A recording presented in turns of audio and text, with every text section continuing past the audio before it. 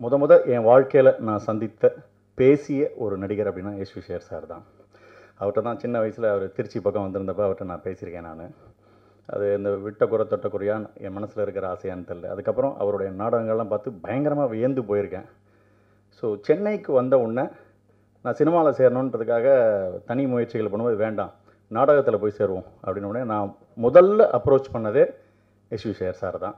அப்போ அவர் ட்ரூப்பில் இருக்கிற அந்த பாரி வெங்கட்ங்கிறவர் தான் என்னை கொண்டு போய் சொன்னார். சார் வணக்கம் சார் அப்படின்னு. உங்கள் ட்ரூப்பில் சேரணும் அப்படின்னு. ஏற்கனவே நூறு பேர் இருக்கானே மேல் அப்படின்னாரு.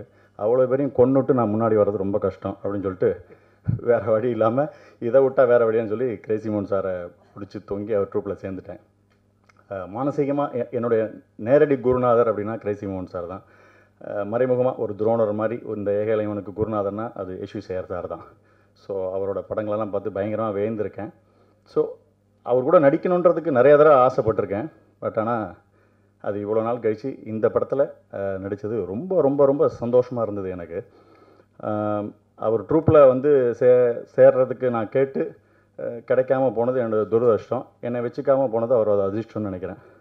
இருந்திருந்தால் ரொம்ப டார்ச்சர் பண்ணியிருப்பேன் ஸோ முப்பத்தி நாலு வருடம் கழித்து ஒரு படத்தினுடைய சீக்வல் இப்போ ஆரம்பிக்குது. அந்த படத்தில் நடித்த அத்தனை நடிகர்களும் குறிப்பாக Visu sir Yash sir Kuriakose Ranga sir எல்லாம் நடிக்கிறாங்க. அவங்க கூட நான் நடிக்கிறதே பெரிய பாக்கியமாக நினைக்கிறேன். நான் பார்த்து வேந்த அந்த லெஜெண்ட்ஸுகளோட நான் திருப்பி நடிக்கிறேன் அப்படிங்கிறது எனக்கு மிகப்பெரிய சந்தோஷமாக இருந்தது. அந்த பழைய படத்தில் வந்து மாப்பிள்ளை வந்து எட்டு கண்டிஷன் போடுவாங்க. இந்த படத்தில் வந்து பொண்ணு எட்டு கண்டிஷன் போடுவாங்க.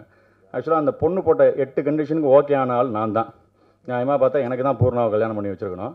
பையனை வச்சு படம் எடுக்கிறேன்னு சொல்லி அவர் கல்யாணம் பண்ணி வச்சுருக்காரு சார். ஸோ ஸோ இந்த படத்தில் நடித்ததெல்லாம் ரொம்ப சந்தோஷமான அனுபவங்கள். அது தவிர ரொம்ப டீசெண்டான ஒரு யூனிட்டு கரெக்டான நாளை கேட்டு கரெக்டாக பயன்படுத்தி கரெக்டாக பேமெண்ட் கொடுத்து கரெக்டாக டிடிஎஸ் சர்டிஃபிகேட் கொடுத்து கிரேட் இன்னொரு தடவை கூப்பிட்டா கண்டிப்பாக நான் நடிக்க வருவேன். அடுத்த மணல் கயிறு பார்ட் த்ரீ எடுக்கிறதா இருந்தால் இந்த மாதிரி முப்பத்தி நாலு வருஷம் கழிச்சுலாம் எடுக்காதீங்க. உடனே அடுத்தடுத்த வருஷமே எடுங்க.